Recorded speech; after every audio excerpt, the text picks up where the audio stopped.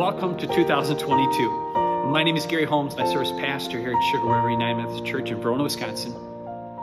This last few years have been really a challenge for our youth, adults, and our physical, mental, relational, spiritual well being. And that has led us to focus in 2022 upon a year of living well. We feel the gospel addresses this very issue from its inception. It's not a new thing or a fad wellness. It, Jesus, in fact, said, Your faith has made you well. And what does that mean? How do we live into that? We're able to use curriculum uh, designed by uh, Living Compass Ministries. Scott Stoner, the founder, and their staff have really helped us. And we'll journey a little bit with us as a church as we work through how we can live into a faith and wellness more deeply this coming year. Takes intentionality, it won't be easy, it takes out of our comfort zone. But the possibilities are amazing to think of what can happen. Wellness is developed from Jesus' commandment to love God with our heart, our soul, our mind, and our strength. Remember, in Advent, we had a star and we were following it to the place of the birth of Jesus. And as you enter an Epiphany, of course, it's, it's the mark of those wise would follow it to God. Uh, the Rickles family created behind me uh, using that star into now what is a compass centered around wellness.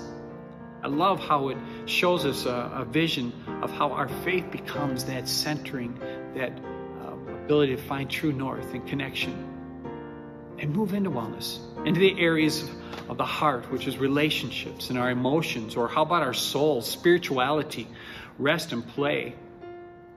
This is a vital difference from a lot of wellness programs. It incorporates our faith and sees how central it is to transform the love of God. And then our mind, in terms of our vocation, which is more than the jobs we do, it really is finding that central purpose of our life and living into it. Or even the area of mind of organization. Does It seem chaotic. Uh, can we use some focus and reflection of bringing clarity to our lives in that way? And finally, strength, resilience. How do we snap back and how do we face the challenges that we endure each day? And finally, around strength, maybe the more popular uh, New Year's resolution centers around uh, care for our bodies, nutrition, strength, conditioning. But all these areas will be brought together as we start this year well by focusing on each of those eight areas. Not only will we learn about them and get biblical reflection upon them, but we'll also take an assessment. Again, uh, livingcompass.org provides that we can take a snapshot. How am I doing in this specific area? In fact, even now, you could go uh, to their website and take an assessment of all eight areas just as we begin this year and say, How am I doing in this moment?